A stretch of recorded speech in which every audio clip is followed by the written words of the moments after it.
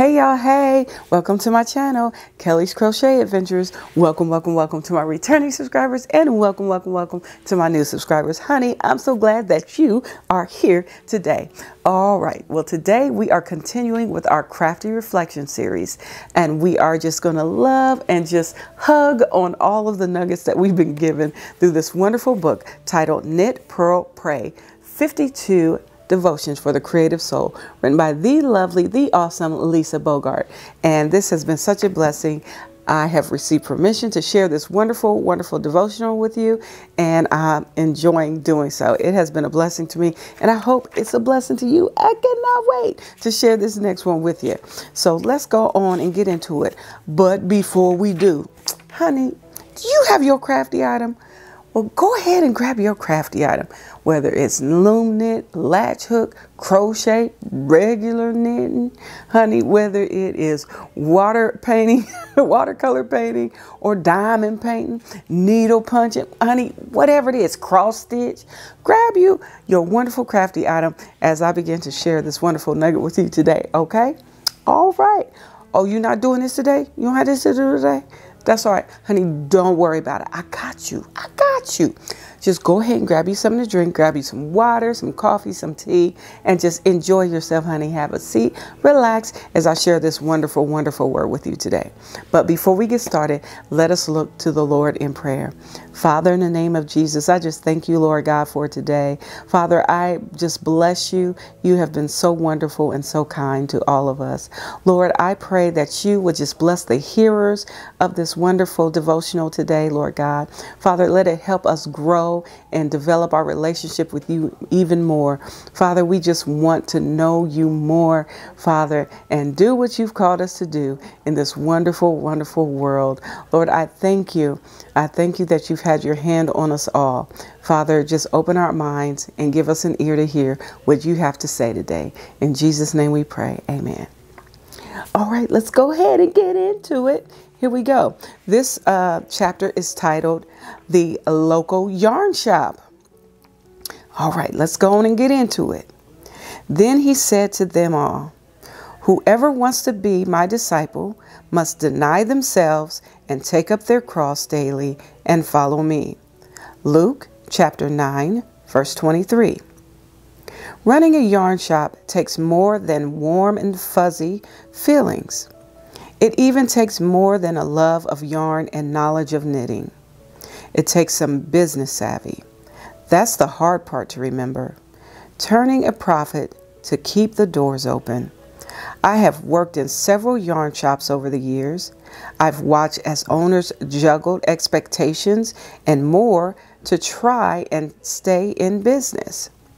Knitters and crocheters are lovely people. They are, they are pleasant customers and enthusiastic artists. So running a local yarn shop can be great fun. There are cool benefits. You get to order all kinds of yarn. You can connect knit celebrities and invite them to your shop. You get to go to trade shows to hunt for the latest notions and sample the latest yarns and hear about the hottest trends. But you have to order what your customers will buy. Each shop caters to a specific clientele. You don't get to buy just what excites you as a shop owner. You must know your customers and be on the lookout for exciting things to entice them. Knitting is a great hobby, but when you turn it into a business, there is even more work to be done. I have been thinking of how running a yarn shop is like the business of living a Christian life. It may look all warm and fuzzy on the outside, but on the inside, it is work. As a Christian, you have the warm feeling of growing in faith with Jesus in your heart. But if you take up your, your cross daily, there is a responsibility of work to be done. It may be a clear road to follow, but not always an easy one. Sometimes that feeling God in your heart nudges you to go out and do a hard and difficult thing. Maybe you will be called to forgive or to serve or to act in ways outside your comfort zone or equally as difficult, you will be called to stay within and do the work do the hard work of maturing your faith, maybe through study or prayer. Running a yarn shop involves budgets, rent, utilities, payroll, and a long list of other responsibilities. It's not all pretty new yarn and great new patterns. It is labor to keep the doors open, but the reward can be great. Over the years, a shop can become a hub of community activity as well as a source of pride and income. Prayer, study, service. These are a few of the things to keep our Christian life vibrant. It takes work to stay connected to our faith, but the reward is great. We believe in nothing less than eternal life. We are saved by the God of the universe. Yet sometimes it feels easy to slack off and walk away from God and His nudges in our heart. But like having a thriving business, the work in our heart pays off. Our connection to God makes our life glow with His Spirit.